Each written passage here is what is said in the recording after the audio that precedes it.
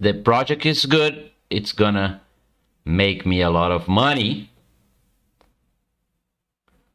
So OxBull also had Bloktopia. Let's watch these this here. It sounds good.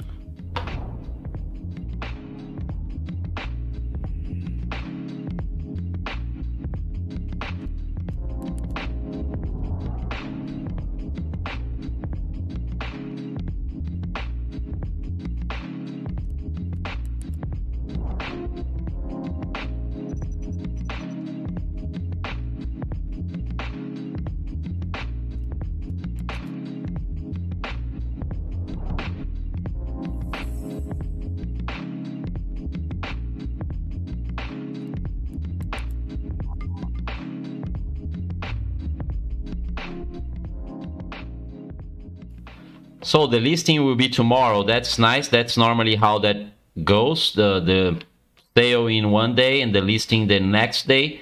That's perfect. That's beautiful. That's amazing. Sometimes it takes a little bit longer, but on this case, we're gonna see this listing tomorrow. So 6th of October is the listing of BLOK, this Bloktopia, earn, play, and collect and live the life of a crypto metaverse with virtual reality in this amazing environment which will be Bloktopia. Welcome to the future guys. Thanks for coming. If you like the content here, please subscribe to my channel and learn more about NFT games every day. What is in the metaverse? Bringing NFTs to life. Um, so that they want to become something like Second Life. I don't know if you ever played Second Life, but Second Life was a huge hype. Uh, even before blockchain was, I think was, uh, I think it correlated uh, when Second Life was launched. Probably we already had uh, Bitcoin, right? So let I I I got curious now. Um, Bitcoin was created on uh, 2009 or 2000. I think 2009, right? When was Bitcoin created? Creation date. January 2009, so I was right. Um, this is Second Life. You probably already heard about this. Uh, Second Life. Oh, so was much earlier. So that's interesting. Second Life was created six years before Bitcoin even got created. So that's very interesting because Second Life actually had a very interesting economy, which is for sure something that inspired many other um, type of games that it's and one of them it's gonna be this one bloktopia so as as if you have played you probably remember we had a lot of casinos we had a lot of uh, player freedom. They could buy land not very expensive even uh, not I couldn't afford one, but once I bought like a shop that I could sell my stuff. So that was very interesting game. I hope Bloktopia gets the same hype uh, Second Life got because if if it does, this is gonna be a revolutionary standpoint from now on. So I really hope that this gonna catch fire and we all gonna be rich soon.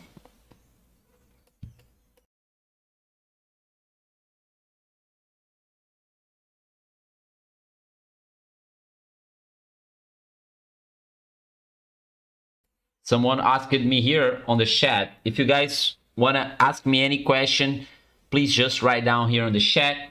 Uh, this is only for listed address. Mm, yes, this is only for listed address. You have to get KYC, at least on Seedify Fund, because I'm not on o OXB Boo uh, incubator, but Bloktopia is also on OXB OX Boo incubator. So uh, all I know is from Seedify.